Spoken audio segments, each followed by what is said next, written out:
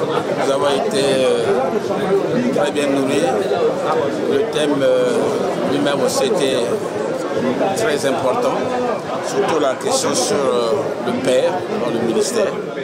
Je le disais tantôt à mon frère, le père, c'est une sécurité pour un ministère. Si un ministère n'a pas un père, il a une insécurité.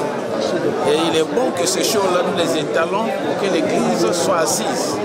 L'instabilité dont nous crions ici et là, ça cause cela. Les enfants qui naissent ici et là, les pères par là et là. Et ça fait quoi? Une faiblesse devant la mission qu'elle a la nôtre.